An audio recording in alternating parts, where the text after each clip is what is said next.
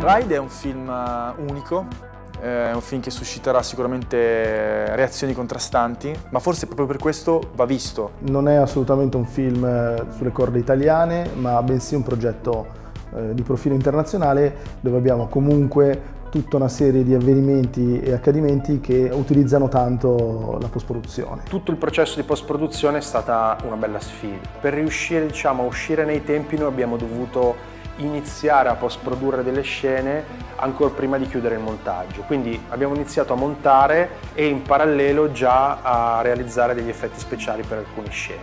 Ride ha due tipi di effetti. Ha l'intervento in CGI, quindi creazione di elementi 3D, e l'inserimento di contributi grafici, di motion graphic all'interno eh, di vari dispositivi, sia i monoliti che i rider trovano durante il loro percorso, sia tutta una serie di altri schermi che vediamo all'interno del, del film. E una serie di effetti invisibili che servono per uh, mettere i nostri attori all'interno delle scene più d'azione. In poche parole si ricrea un viso CGI derivato da una scansione comunque dell'attore e messo sulla controfigura e sullo stante che compie le acrobazie o piuttosto che azioni particolari.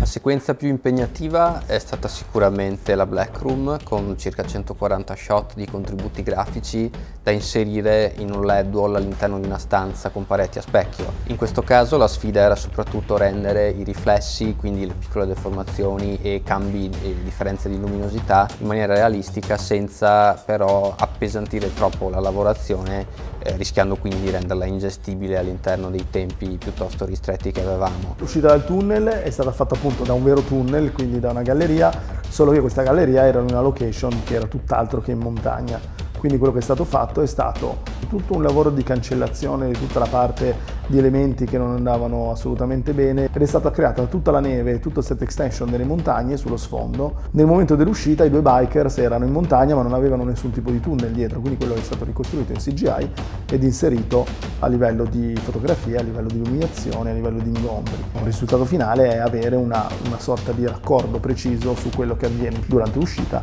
e quello che avviene dopo. Siamo sicuri che un film come Ride non c'è, per il modo in cui è stato girato, per il modo in cui è stato concepito, per il modo in cui è stato post-prodotto. È un'esperienza visiva e uditiva unica. Vedere Ride vuol dire vedere una cosa che non si è mai vista al cinema. Io stesso sono curioso di vedere Ride al cinema per capire come reagisco. Ancora una volta, dopo Mine, Fabio e Fabio ci hanno proposto un progetto che è qualcosa di completamente nuovo, un action che non si era ancora visto nel panorama italiano.